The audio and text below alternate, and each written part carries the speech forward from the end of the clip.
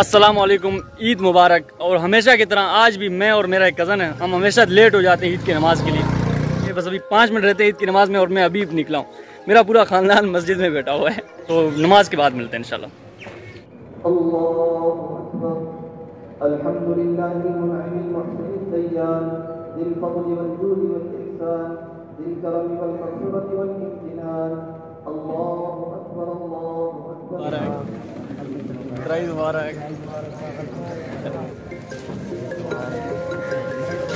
भाई जान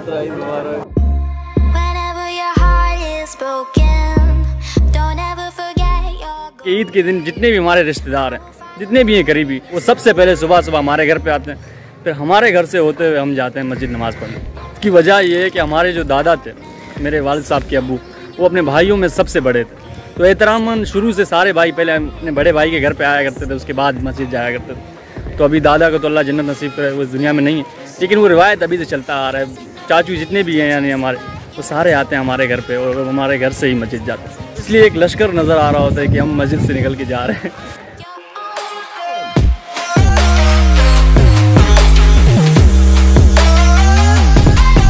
और तो कुछ है नहीं दिखाने का तो मैं आपको अभी अपने घर के छोटे बच्चों से मिलाता हूँ, जिनको मैं साल में सिर्फ़ एक दफ़ा फोटोग्राफी सर्विस देता हूँ, और वो आज का दिन है। तो आप देखें कैसी फोटोग्राफी होती है, बस उनका दिल खुश हो जाता है, कोई खास फोटोग्राफी तो है नहीं, बस पीछे ब्लर हो गया, उनका चेहरा थोड़ा साफ़ आ गया, ये फोटोग्राफी हमारा।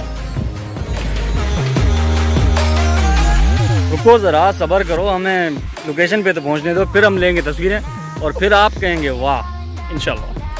तो जी, ये जगह बड़ा ही विंटेज जगह है हमारा। इस जगह पे हम बच्चों की तस्वीरें लें। अभी दो बच्चे दिखाई दे रहे हैं, हमने कॉल किया, अभी पूरा ख़ानदान अपने बच्चे ले आ रहे हैं। सर्विस हम देंगे।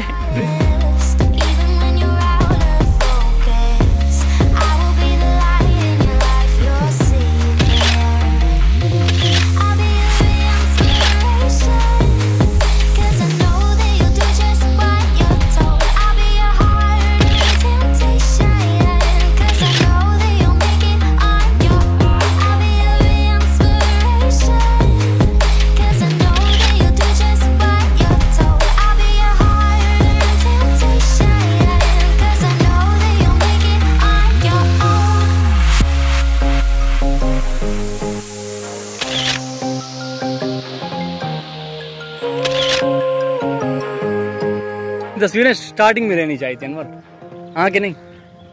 क्योंकि अभी हमने बच्चों को तस्वीरें ली, हमारा क्या हालत हो गया। पसीने से बुरा हाल हो गया, अभी पता नहीं कैसे तस्वीरें आएँगी। यार, जैसे भी आए, अभी तस्वीरें हम ले लेते हैं, फिर चलते हैं घर। वैसे लोकेशन बड़ा ही ज़बरदस्त है यार। मैं जिस इलाके में रहता हूँ, बड़ा ही विंटेज इलाका है। इसके ऊपर मैं पूरा एक वीडियो बनाऊँगा। तो अभी तस्वीरें लेते हैं अपने। इंस्टाग्राम पर भी तस्वीरें भी तो डालनी है यार। अभी फेक हंसने की हाँ एक्टिंग करता हूँ। फेक हंसने की एक्टिंग करता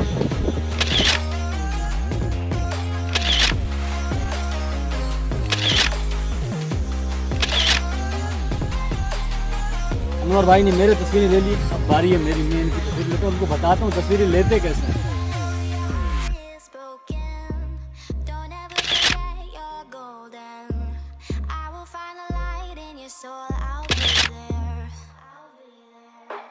तो भाई फोटोग्राफी हमने अपना कर लिया। बल्कि मैं इसको फोटोग्राफी नहीं कहूँगा, हमने बस तस्वीरें अपने ले ली। बैकग्राउंड ब्लर हो गया, हम फोकस में आ गए, हम खुश हो गए इसमें। तो बाकी अभी गर्मी बड़ी टाइट हो रही है। मेरे को बताने की ज़रूरत नहीं है, मेरा लाल चेहरा आपको बता रहा होगा कि कितनी गर्मी है। तो अभी जाएँगे घर। सही। बंदे से मिलने हम उसके घर जाने वाले थे, वो बंदा आ गया है। हीरो आ गया हमारे ब्लॉग का। दिखाता हूँ आपको।